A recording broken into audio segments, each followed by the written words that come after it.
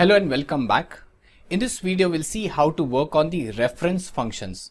Now, reference functions are basically not doing anything into that particular cell, but they are trying to take a help of the nearby cells. Okay, so that is what the reference functions main idea is.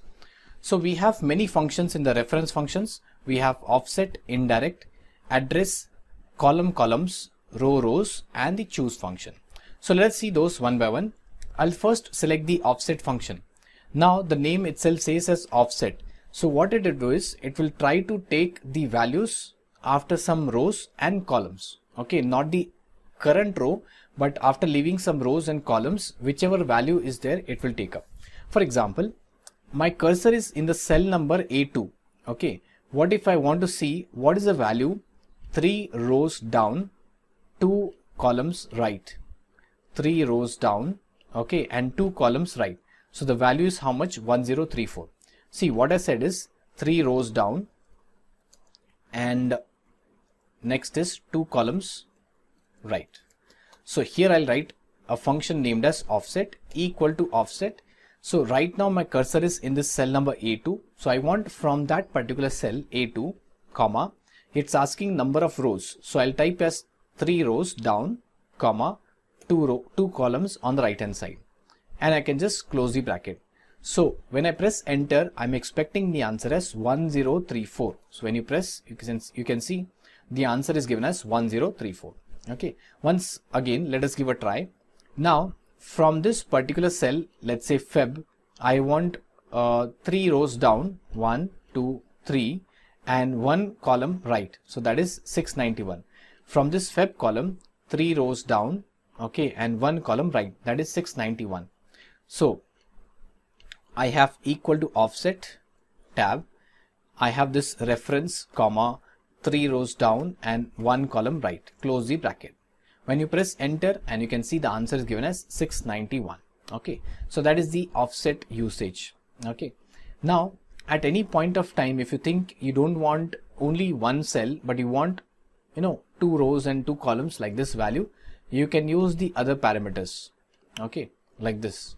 So here if you observe, I have A4 comma 3 comma 1 comma, I can say I want a height of two cells. So I'll put 2 comma, I want width of two columns. So I'll put as 2 and close the bracket. So when you press enter, you'll see you are getting as no value because everything cannot come into one place. So we have to use some other functions.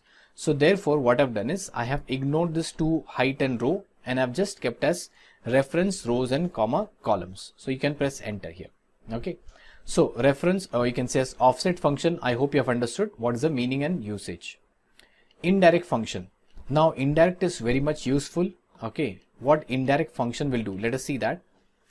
I have uh, written some data at this place. If I select this cells like 10 to 45 whatever the name is given as scores. That's a name range what I've given as scores. Now I have written that scores into some cell that is B6 okay that's a cell number b6 here. Same way if you observe I have written some text into cell number C2 and in cell number B1 I have written as C2 now just tell me a single a simple answer. If I type equal to B1 what I'll be getting? So if I type equal to B1 as the formula I'll be getting the answer as C2 okay so which is absolutely correct whatever values is kept into this C2 cell number that is the answer I'll be getting but instead of this one, if I type here as equal to indirect B1. So what is equal to indirect B1? So it will say that is not a value, that is nothing but a name range. Whatever value is kept into cell number B1, that is a name range, that is not a value. So when you press enter, you can see what is happening is you're getting as Gill, the company name you're getting it. So if I just double click here, it, it gives us equal to indirect and cell number B1. So basically indirect is a function which will try to fetch the reference. Okay, that is something given as name range. So when I press enter, what it says is in B1 cell number, there's a value given as C2. So C2 is not a value. C2 is a reference to some cell number. Okay, therefore you get the answer. Same way, if I type as equal to sum bracket open and uh, if I select the cell number close the bracket So what I'll be getting the answer as equal to sum B6, I think you will be getting as 0. Okay. But if I say equal to sum indirect of cell number B6. So now my function will understand, my Excel will understand that uh, cell number B6 is having some, you know, name range. That name range is not a value, it is a name range as I said. So it will try to add those sum, okay, of that range. So when I press enter key and if you see I'm getting 120. So basically this particular cells are been getting added here 120. Now you might be asking why these are added because this cells are given some name as scores. I have written it separately at some location. I'm using it into a function using the method as indirect. Okay. Instead of this using it, I can also use equal to sum. Directly I can write as scores. Okay. That is also possible. Or else I can use indirect in this particular cell whatever values is given that is a name range. So you can press enter from your keyboard. Both are one and the same. Okay so that is the indirect function. It will be very much useful when you're go going for uh, you know dependent drop down list. Dependent drop down list will require this indirect function. Okay. Next one we have the address function. What is address function here? You give the row number you give the column number it will give you the address. Okay.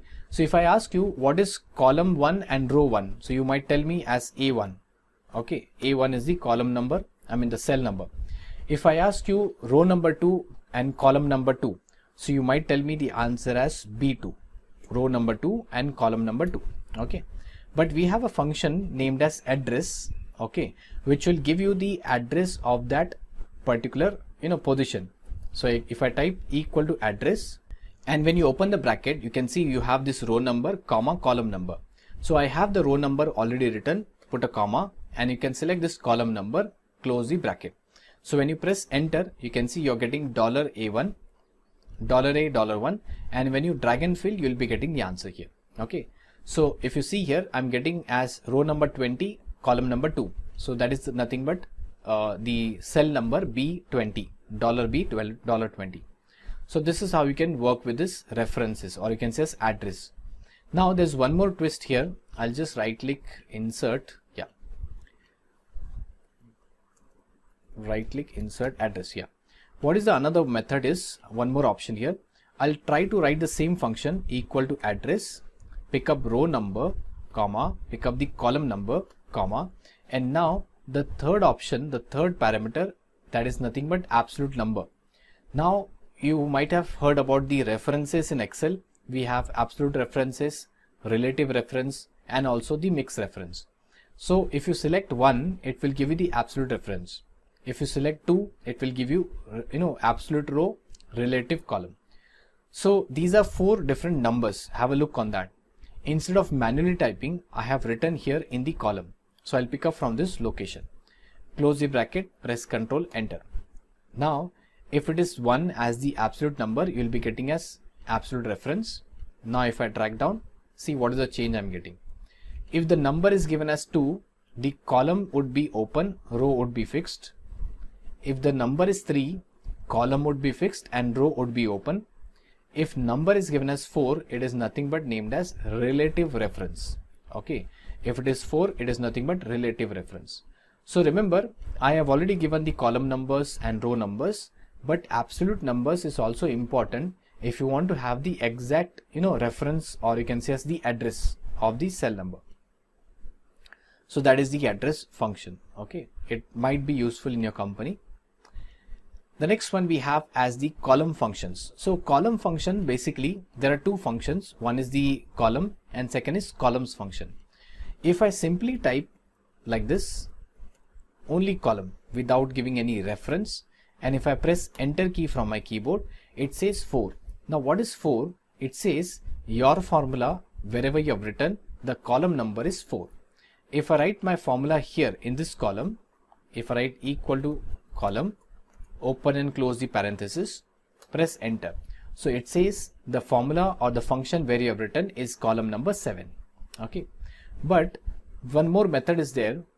If you type equal to column like this, and you type the reference, let's say C5. You type the column number also or the cell number. It will tell you what is the column number of that particular cell. So when I press enter, it says 3. Definitely C column belongs to third column itself, right? Now you might be asking, it is very simple. We can do it manually also. But imagine if I ask you the column number of this particular cell. Okay. So equal to column, open and close the bracket, enter. So the column number of this column is 16382. Okay. 16,382. Okay. This is also easy method to work with. Next function we have as columns. Columns function will basically give you the count of the columns you have. For example, if I select this 3, how much is the columns I have selected? So the answer you should get as 3 equal to columns. I'll write the function equal to columns. Now I'll select C, D, E, all three columns. Close the bracket and press enter. So you see I'm getting the answer as 3. One more example equal to columns. Now I'll select this 5 columns, close the bracket, enter. So here it says total there were 5 columns what you have selected. Okay, the range what you have given. Okay, so column function is basically used to display the column number in which you're working or whichever cell reference you give. Columns will give you the count of number of columns you have given in the reference. Okay, that is nothing but the reference. Okay, in the array. Same way, if you understood the column function, row function is again very simple. If I type equal to row, open and close parenthesis, it will tell you which row number you are currently working. So my row number is nothing but 4. You can see that's a row number 4. But if you want, you can just give the cell number like this equal to row and you can pick up let's say G1, H1. So it says that is the first row number. Okay. And similarly, you can find out the number of rows you have selected. So I'll pick up rows and if I pick up like this, n number of arrays, okay, n number of records.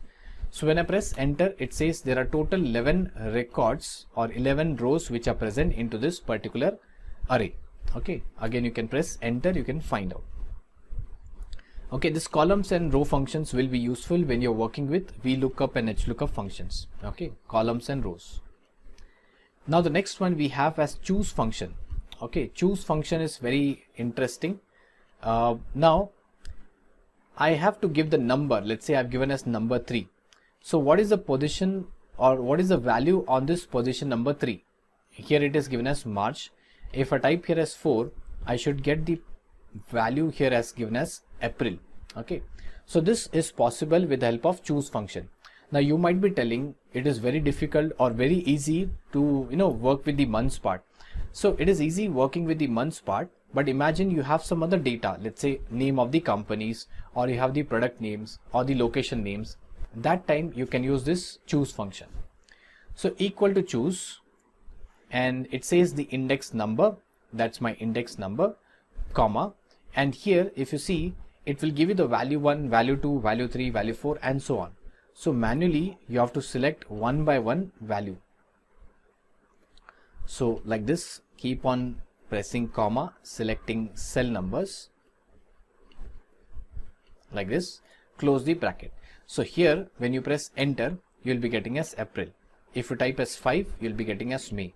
7, you'll be getting as July. So what I've done is basically I have just type as choose function the index number comma and values I have selected it one by one. Uh, no, separated by comma. So that is the only method by which you can work with the choose function okay. We have some few methods but those are very lengthy and complicated. The easiest one is this method right? So when you press enter you'll be getting July. Okay. So this is how choose function will work. Okay.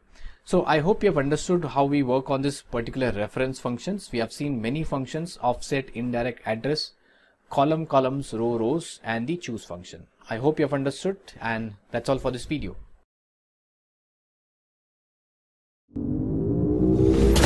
Acadgild. Average is dead.